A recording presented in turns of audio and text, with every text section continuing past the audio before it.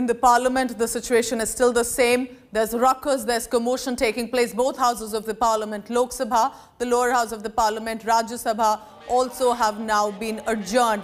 There is a continuous and repeated sloganeering that is taking place by the opposition netas and every time a minister in the government stands uh, to make a statement the opposition is demanding a discussion on the Pegasus. As it, uh, what has happened in return both Lok Sabha and Rajya Sabha have now been adjourned. Kamaljeet Sandhu is on the ground outside the parliament. She's tracking all the latest. Kamaljeet over to you because uh, with both houses adjourned is the issue again Pegasus or is there perhaps more demands that are coming in from the opposition parties? Over to you, Kamal. We'll be seeing fiery sessions of parliament happening and today also yet again uh, the speaker of Lok Sabha addressed uh, the house and says uh, the decorum of the house needs to be maintained.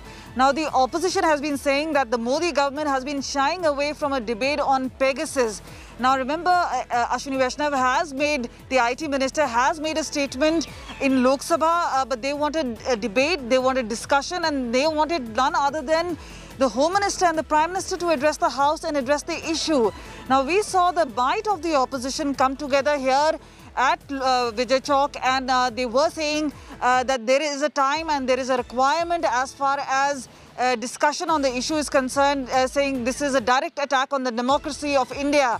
Now, the opposition uh, may be saying something, uh, but the government is saying that the opposition is not allowing the House to run. Anurag Thakur, who's the IB minister, said uh, that uh, as far as the opposition is concerned, the way they have been tearing papers, uh, they have no respect for uh, the temple of democracy. so we see a massive blame game which is being played out in the parliament. But what is happening is a loss as far as the exchequer is concerned. Each session, each day is costing 10 crore rupees. Uh, with uh, the House uh, in pandemonium means there is little or no discussion happening. Now, the bills were passed amidst din in the House.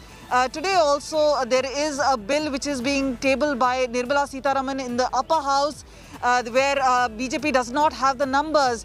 Uh, but yes, once the bills need to be passed, the House does continue for some time. But we've seen repeated adjournments okay. and hardly any business take place. This is obviously an indication that the entire House of the session, despite a reach out from the Modi government, is likely to be a washout. Kamaljeet, please keep tracking all the latest uh, washout, it appears, despite so many bills that are set for discussion or even passage. But all of that, for now, getting adjourned. Remember, this is taxpayers' money. Important bills had to be passed. Is it worth all the disruption that's taking place there in the parliament?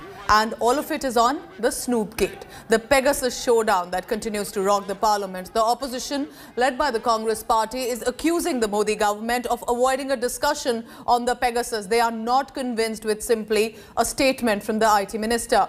The centre has hit back calling opposition protests a desperate bid to stall the working of the parliament. Anand Patel, my colleague with the latest here from the ground. ruckus, sloganeering and hangama. That's Wednesday's proceedings in Parliament in a nutshell. The centre and opposition are in a relentless face-off. At the centre of it all, the Pegasus Spygate scandal. Congress MP Rahul Gandhi chaired a meeting of opposition leaders on Wednesday.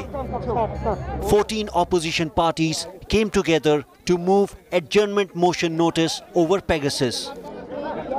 As a united opposition forced adjournments, there are indications that 10 opposition MPs may be suspended for their unruly behavior.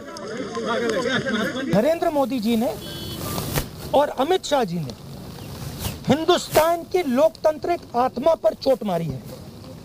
इसीलिए हम Pegasus पे discussion चाहते हैं।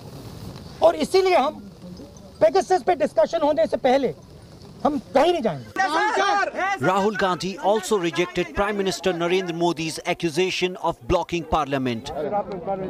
हम parliament house को disturb नहीं कर रहे हैं।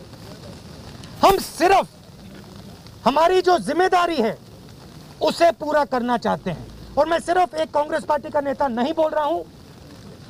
हर एक पार्टी का नेता आपको यह बताएगा कि हम सिर्फ़ अपनी ज़िम्मेदारी पूरा करना चाह रहे हैं। वो विरोध कर सकते हैं लेकिन उसकी भी एक मर्यादा है। मर्यादाओं को तोड़ने का काम आज जो कांग्रेस और तृणमूल कांग्रेस के सांसदों ने किया है उसकी जितनी निंदा की जाए उतनी कम है। जो अपनी बात रखेंगे। Even though the opposition has opened multiple fronts against the Modi government over issues ranging from Pegasus to farm laws, the unity is shaky. The absence of Trinamool Congress at Rahul's meet has raised eyebrows. The TMC claimed its leaders are busy organizing Mamta Banerjee's meeting in the capital. Meanwhile, the West Bengal chief minister, who is on a mission to unite the opposition, met Congress President Sonia Gandhi later in the day. देखिए BJP को हराने के लिए सबको एक होना ज़रूरी है हम अकेला कुछ नहीं है सब एक साथ में मिलकर काम करना पड़ेगा Despite opposition MPs stepping up their efforts to stall proceedings, the government has managed to pass bills in both the houses amid din. So while a discussion over Pegasus snooping looks unlikely, it has certainly brought the opposition parties together, much to the discomfort of the BJP.